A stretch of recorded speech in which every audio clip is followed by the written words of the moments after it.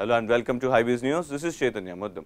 In a country first, Kerala government has made registration mandatory for service providers in adventure tourism sector for conducting a wide range of land, water and air related activities to ensure their quality and safety. The procedures and protocols of adventure tourism safety and security regulations for according registration for operators were drawn up by Kerala Adventure Tourism Promotion Society KATPS which functions under the Department of Tourism. KAPTS has set up an expert committee to prepare safety parameters for adventure tourism sector.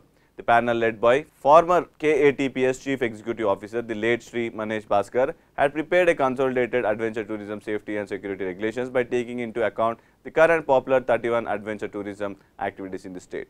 Tourism Director Sri V.R. Krishna Teja said Kerala considered adventure tourism as a highly promising segment, especially in the post-pandemic surge. By introducing the registration system, foolproof safety and standard will be achieved in the sector, which will help Kerala to attract more tourists to the sector with utmost confidence, he said. Thank you for watching HyBiz News.